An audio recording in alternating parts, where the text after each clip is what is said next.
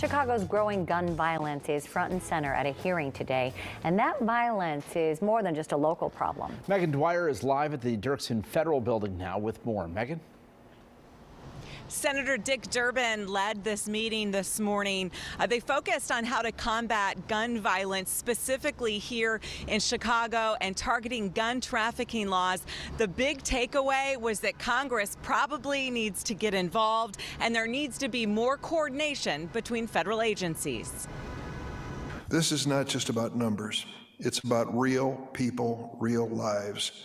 It's about funerals and young lives taken too soon and empty chairs at the dinner table for the families they leave behind. Crime.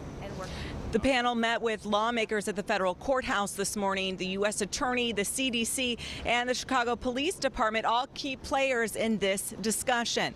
As 2021 shapes up to be one of the worst years for deadly violence in the city's history, Durbin says he called the meeting to help nail down what exactly key federal agencies are doing to get a handle on it so they can coordinate efforts to ensure the public's safety. He says new homicide records have been set all over the country this year, not just here in both red and blue states alike. But here in Chicago, there are fewer cops because of retirement and COVID. In Cook County, more than 4,000 people have been shot this year.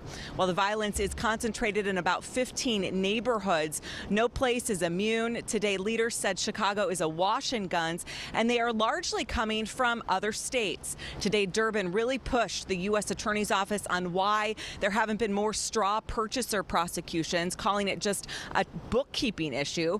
He wanted to know from the ATF why the Chicago office is doing so few field inspections of gun shops compared to other offices throughout the United States.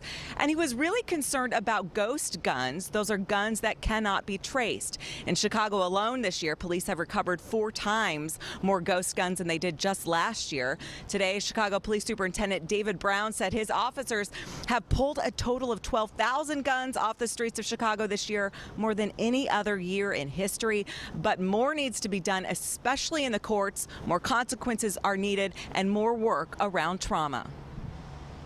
Harsher penalties for straw purchasers and gun traffickers will send a message.